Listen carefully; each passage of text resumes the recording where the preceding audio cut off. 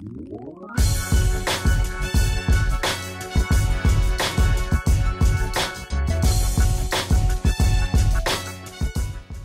guys, what's going on? It's Preston here from the Leighgendarium. Welcome to episode number two, part one of the 30 minute author interviews. Here at the Leighgendarium, we're shining a light on indie publishing. Not only do we hope to interview your favorite author, but we hope you find a new favorite author through this podcast. This week, our guest is Chris Pourteau. Now sit back, relax, and enjoy 30 minutes with Chris Pourteau. Uh, welcome everybody to this episode of 30 Minute Author Interviews. Uh, thank you for joining us today, Chris Pourteau. Well, thank you for having me. I'm glad to be here. Yeah, I appreciate it. Um, so, uh, for those that don't know anything about you, why don't you uh, just kind of give us an introduction about who you are and what you do? Okay. Uh, well, I've been an independent author for about three years now. Um, I write uh, horror fiction, sci-fi, post-apocalyptic fiction, that kind of stuff. Uh, I've got, I don't know, four or five novels um, out there, novel length works anyway, out there. Uh, one of them is a collection of novellas and a short story called uh, Tales of B Company, which is set in Michael Bunker's world of Pennsylvania. Uh, but it collectively, it's about a novel's length. Um, and um, I'm also an editor. I put together a collection of short stories called Tails of the Apocalypse last fall, uh, which collected 14 stories uh, from the perspective of or featuring a main character uh, from the uh, animal world. Uh, and that was a, a pretty successful venture. Um, that's on Amazon now. So, uh, writer mainly, but also an editor. Awesome.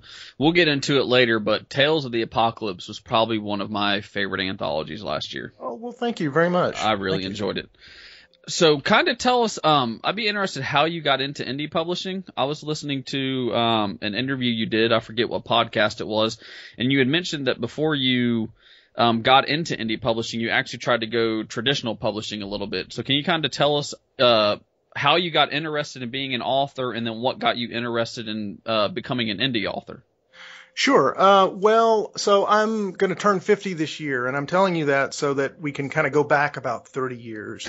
okay. Uh, I I wrote my first novel, which is still in a drawer somewhere, when I was uh, in graduate school. So I would have been about 20 or 21 years old, and at that time.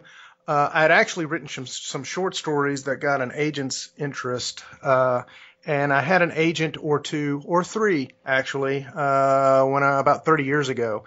Uh, and uh, the agents didn't really work out. They didn't really do much for me. And so this was, you know, you're a 20 something and you think you know everything and you have all the energy in the world. Um, and so I had thought at that time, uh, sort of, and, this is way before the only alternative to traditional publishing at that time was vanity press. Uh, which what is a vanity press? Well, you pay uh, an independent publishing house to publish your book for you, um, and in general, that's uh, looked down upon as wow, you had to pay somebody to publish your book. Well, it must really suck.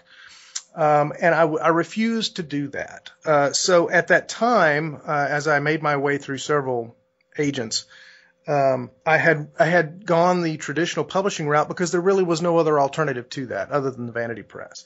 Um, so that was about 30 years ago and uh, set all that aside. I got disgusted with not getting any traction there in the in the traditional publishing vein, and uh, set all that aside. Well, um, around 2000 or so, uh, I wrote a novel uh, that's called Shadows Burned In, and uh, I had drafted it then. Now I was in, I had been in graduate school, so I learned how to write really long sentences uh, with lots of prepositional phrases and 10 cent words.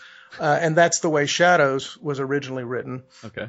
Uh, and just not not not as good as it could be, right? I mean, you learn to write a certain way, and that's the way it comes out. And uh, anyway, so I, I had drafted that up, and I tried to find one of those old agents again, because again, you know, by then, you know, 15 years or so had passed, and uh, I was kind of like, well, I'd like to do this writing thing, and I'd always wanted to be a writer. I mean, I'd, I'd been writing all my life, short stories and stuff, and so.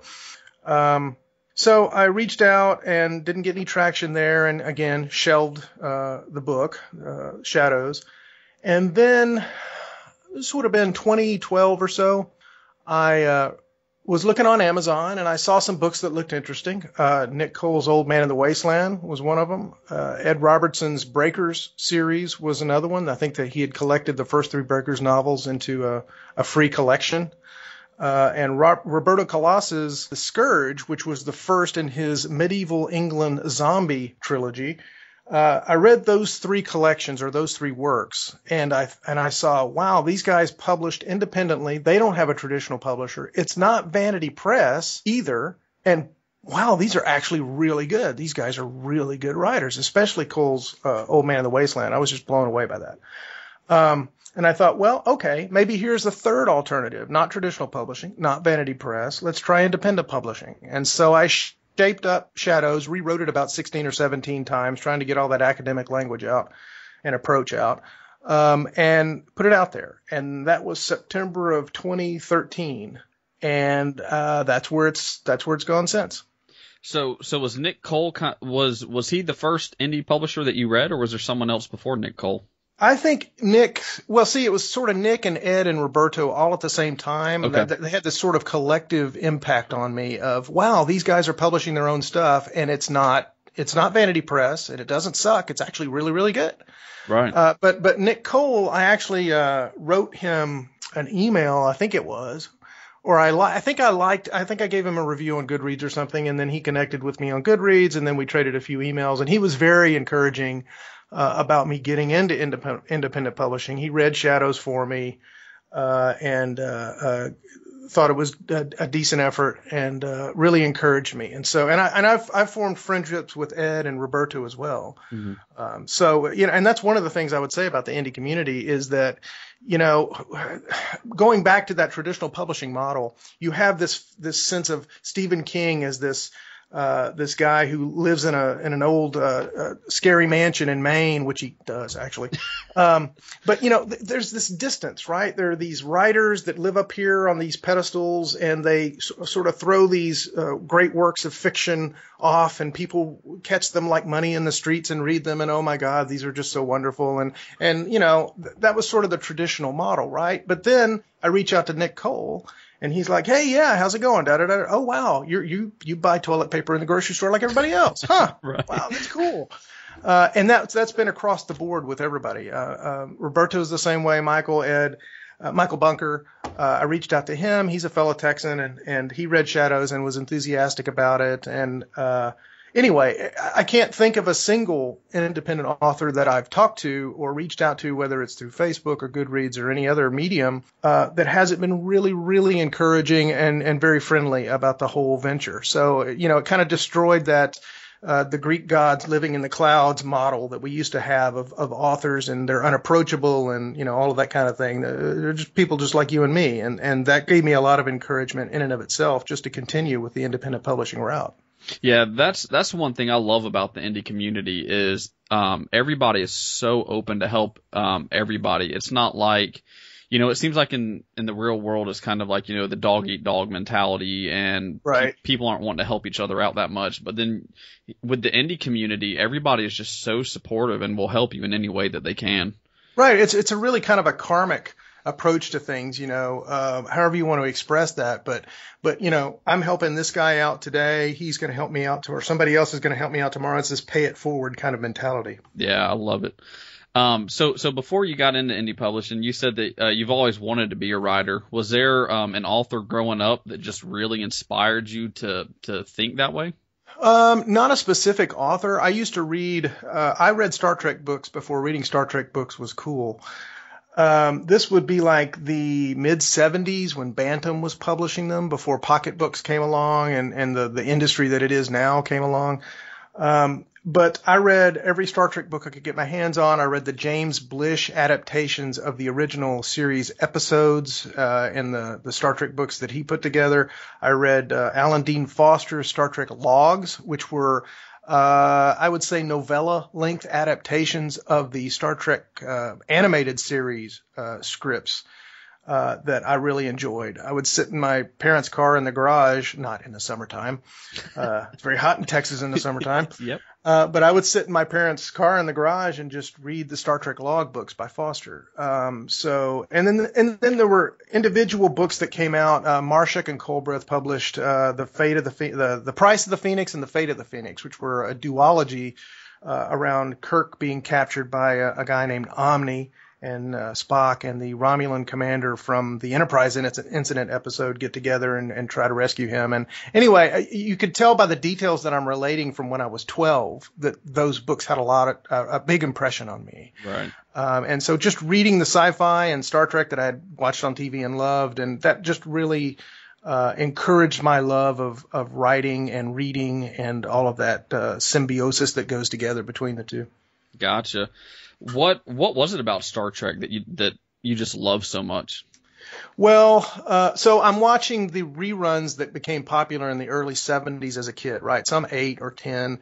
Uh, obviously, as a young boy developing at eight or 10, you know, Kirk is, uh, and his, his heroism and his command and his, um, way with the ladies and all of those things that, that appeal to a young boy appeal to me. Uh, Spock, of course, was a fascinating character. Uh, yes, the pun was intended um, because he was so detached and yet uh, had such a strength about him uh, through that detachment, through that. I wouldn't call him emotionless, if anything, uh, just the opposite, but controlled. And so that was an interesting um, uh, counterman to Kirk's uh, go get him. Uh, take charge approach. And then, of course, you had McCoy with the wry sense of humor. Bugs Bunny was probably one of my favorite characters as a kid growing up because he's such a smartass.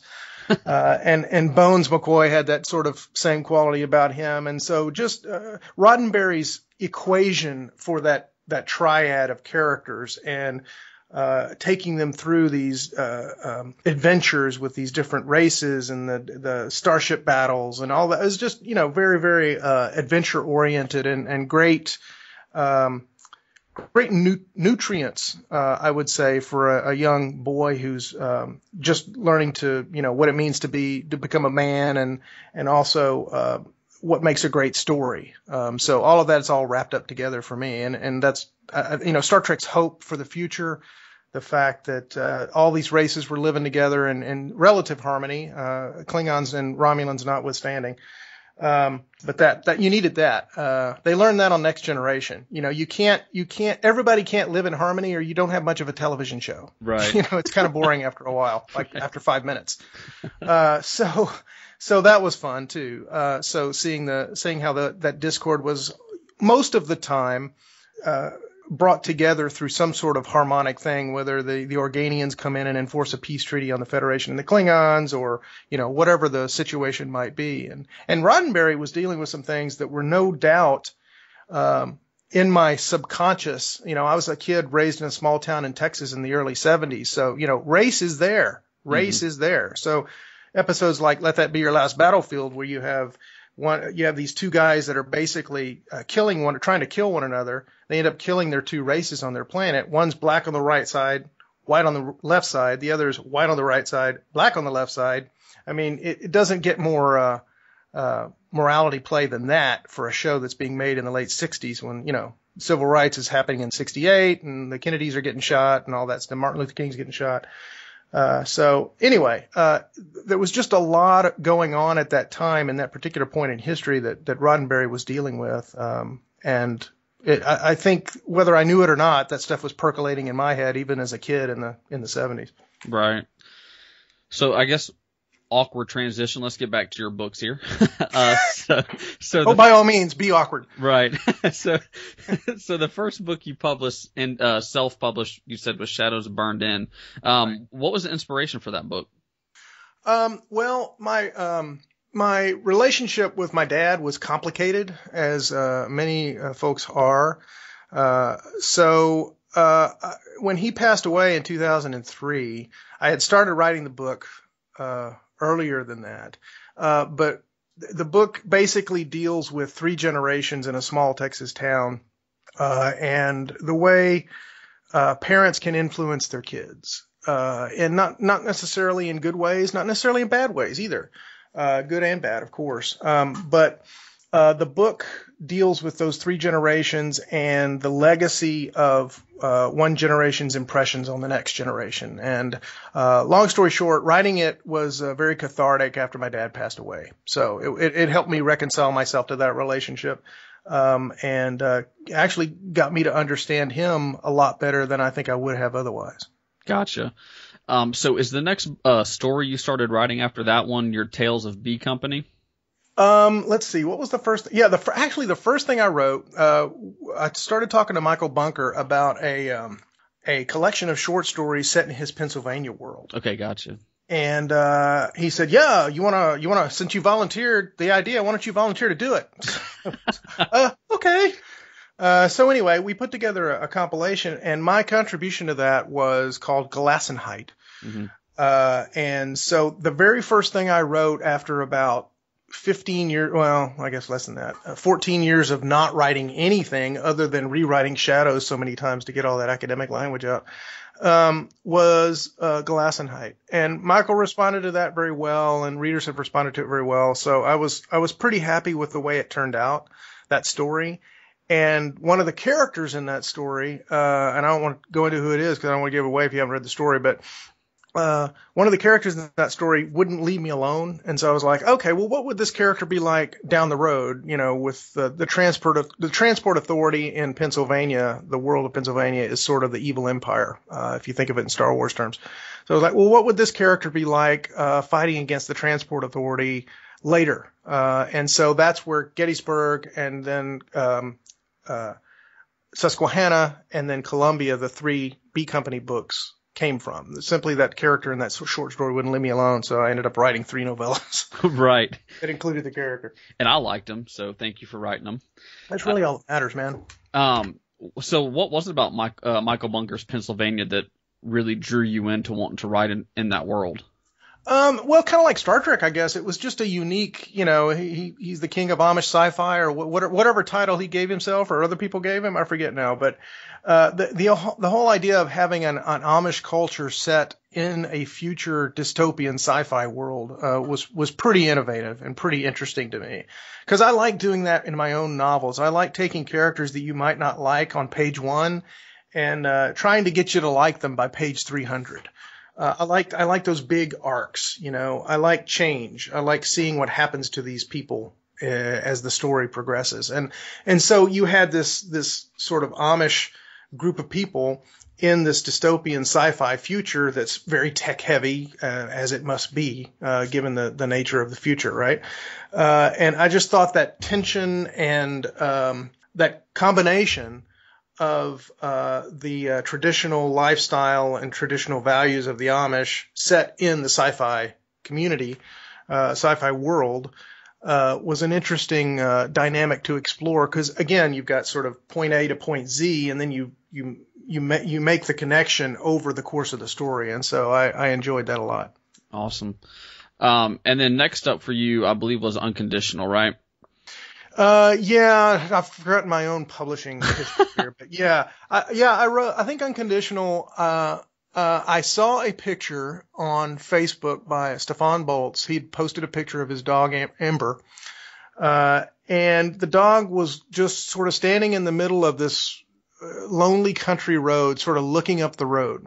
And it looked like the perspective shot. If you ever watch The Walking Dead, you you know they have these long camera angles where they look up these look down these long empty roads with the leaves blowing across the roads. And of course, the point is, you know, civilization is gone. There are no cars driving on the road. It's supposed to to uh, reinforce the whole idea of the world has gone to gone to crap, right? Right. Uh, and nobody's around, and, and the, the apocalypse has happened. Well, that's how this picture of Ember struck me and I immediately had in my head, oh, oh, uh, this is a Walking Dead story from the perspective of a dog. Mm-hmm.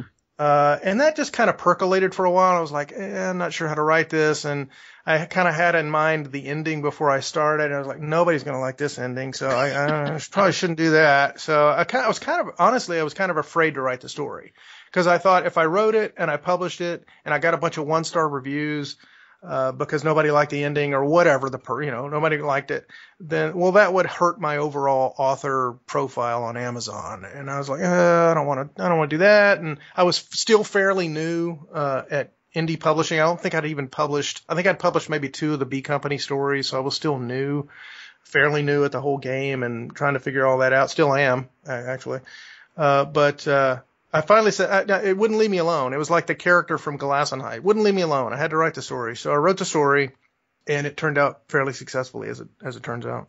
Yeah, it's a great story, and like you said, not not ruin it for people. The ending I did not see coming, and I liked it. I really, That's good.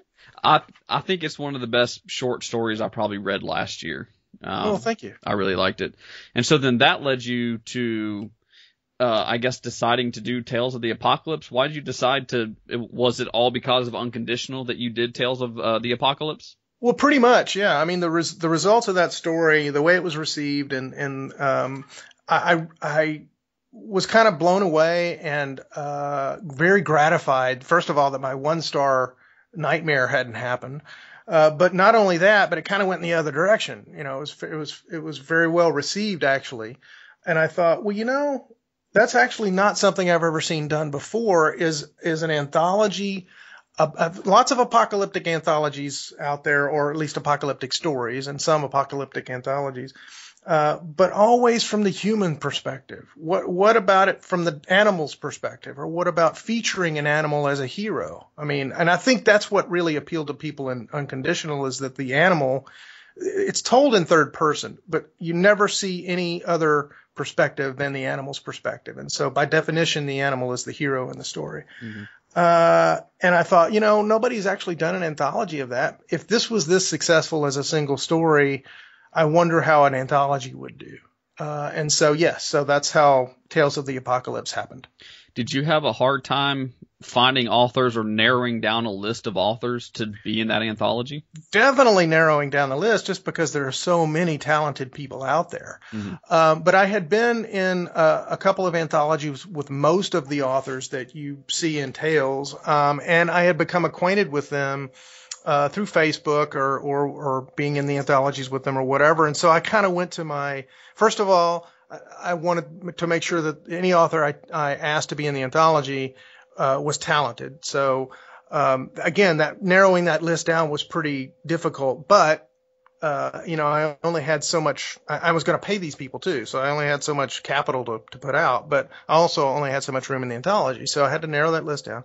Uh, but most most of them are good friends of mine now, and uh, I had been associated with them before, so uh, that's where that's how they got to get a slot in the anthology. Was there any process of putting that anthology together that was, I guess, the hardest for you to do? Uh, probably the most frightening aspect of it for me was the marketing. Fortunately, David Bruns, who's also in the anthology, uh, sort of took the mantle on that. He actually volunteered, and I was like, "Oh, sure, absolutely, please do this." uh, saves me the headache, and uh, I'm sure you know better than to, what you're doing than I do. So please, by all means. Um, so he kind of did that. In fact, it was him, it was David that came up with the uh, the idea of pairing us with Pets for Vets, which we benefited. Uh, the the sales we launched in November 2015, and all the sales through the rest of that calendar year uh, and uh, one of the authors gave Deirdre Gould gave her author fee. So the sales plus Deirdre's fee plus uh, some sales from Todd Barselow, who did the um, the uh, audiobook and the the paperback through uh, Auspicious Apparatus Press. Um, those went to uh, tail uh, to sorry to Tails of the Apocalypse. Those went to Pets for Vets in January. Uh, okay. So we were able to give them a nice check. That's awesome. Um, do you plan on doing a second one? I'd like to. Uh, first thing I'd like to do is recover my costs on the first one, right? Uh, which I haven't done yet. I, I here's my, and I'm not too worried about that. Here's my philosophy of recovering costs. My job is to produce a quality work, book, short story, anthology, whatever. In the case of Tails, a quality anthology of great stories that that receives uh, hopefully good reviews on Amazon over time, that will recover costs. It might take 10 years. And it won't be in the first six months, maybe. Uh, but it'll recover its costs. So once I feel comfortable that I've gotten enough of that back, I wouldn't mind doing a second volume. It was a great, I mean, I, I other than the marketing, I, I did some of that too. Uh, reached out to Goodreads groups and, you know, people like that went on podcasts and stuff. I did some of that too. Um, although David was sort of the mastermind for all that, but Um, I did all of the editing, uh, except for a final proofread that I, I, paid a good editor friend of mine to do. But uh, I did all of the editing, and by that I mean, you know, some people have a conception of what an editor is, and sometimes they're right, and sometimes they're wrong. There's there's different levels of editing. There's there is developmental editing where I say, well, this character was this way earlier in the story. Now they're this way. That's not really consistent. Let's talk about how to make that character consistent. Uh, language choice. Uh, are you going to use contractions or not? You know, that kind of thing. Uh, those are, those are developmental editing tasks. Then there's line editing, which I call proofreading, which is basically looking for typos and spelling errors and things like that. I did pretty much all of that for all of the stories in the anthology. Um, except I did have a final pair of eyes look over the each story at the end when everything else was done, because by then I wouldn't have been able to see any final typos. Uh, so that was a pretty uh, uh, labor-intensive endeavor, and I, I, think I've gotten some compliments on the quality of the the anthology itself, beyond the quality of the stories individually, but just that the anthology was was put together pretty well. So I think I've got that down now. So yeah, I wouldn't mind doing a second volume of that, or or uh, any other uh, topic. Actually, uh, I enjoy editing. Some people are good at editing. Some people are good at writing. I think I have a um, some uh, modest ability at both, and I enjoy both. Uh, so uh, yeah, I wouldn't mind doing a second volume, just not anytime soon. Right. Because I got a lot of things on my plate. Do you have any ideas for any other kind of anthology you'd like to put out, maybe before you did a second Tails? Um, there's one idea that's kind of percolating, but I don't want to go into it right now because it's kind of based in a world um, that hasn't quite gone public yet that I created. So uh, I do have an idea, um, and we'll see how that comes to fruition over time. Sounds good. Now I knew there was an Audible book for Tails, but I'm gonna have to go yes. uh, look at it because I've just recently started getting into um, listening to some audiobooks. So i will probably once we get done go buy that one, and I've uh, listen to it the next time I'm in the car. Oh, cool! It's such a great uh, for anybody, really anybody that has not checked it out. You need to go check out this Tails of the Apocalypse, and it's T A I L S, like a dog's tail. Right. Um. Right. So, so that's Bugs Bunny. That's Bugs Bunny's influence right there. I'm yeah. just being a smartass with the wording. Yeah. in Tails of the Apocalypse, is there any? I know it's hard because they're probably all babies of yours. Is there any story that stuck out to you the most in that anthology? Oh man, ask a mother to pick her favorite child. God, man. Uh, not I, don't want to say because if, if I'm going to immediately leave somebody out. I mean, I liked all of them for they're their, all for good. Their, yeah, for their various approaches. I mean, okay, I will say that to have Nick Cole's Tomorrow Found, which is set in his Old Man in the Wasteland universe, and Ed Robertson's When You Open the Cages for Those Who Can't, which is set in his Breakers universe, in the anthology was a bit surreal because if you remember, they were two of the three authors, and those were two of the three books that I read uh, early on and realized that you could publish independently and still be a great writer. Uh, that it wasn't like Vanity Press. Uh, and so it was a bit surreal to have them in the anthology with short stories set in those worlds, uh, because they, the, reading their stuff, uh, in 2012 or whenever it was, was just, uh, was such an inspiration to me. And so it was, re- I, I kind of, you know, I felt like, uh, the student who had the professor, um, you know, come in and, and, uh, write an article and put it in the, put it in the collection, uh, the students' collection in a way. So it was it was a lot of fun. I really enjoyed and and uh, I really enjoyed working on their stories with them and just having them in the collection. I know the one that sticks out to me, um, and I don't know why, but I discovered this author because of you, or started reading the author because of this anthology. Was David Bruns and his story, um, "The Water Finder's Shadow." Yes, I love that.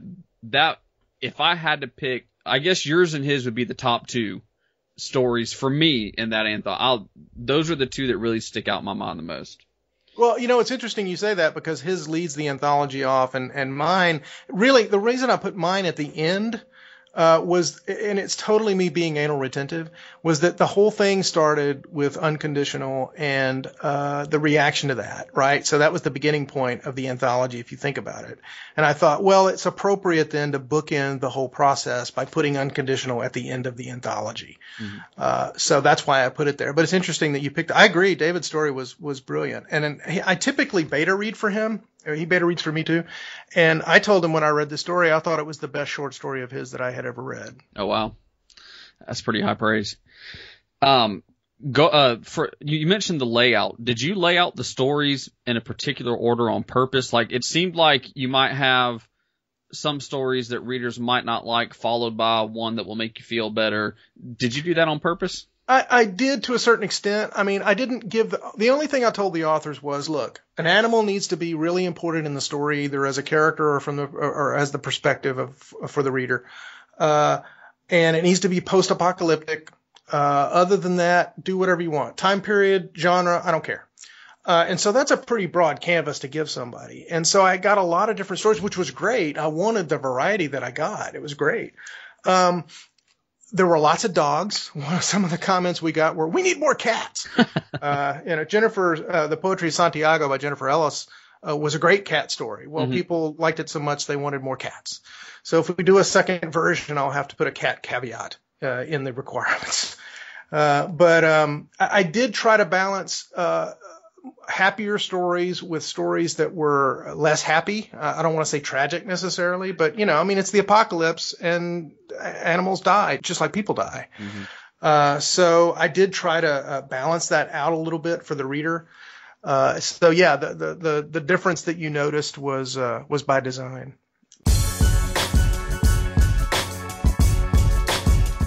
Well, guys, that's all the time we've got for part one. Make sure you tune in for part two, where Chris takes on questions from your fans and the legendary ending. And until next time, guys, stay legendary.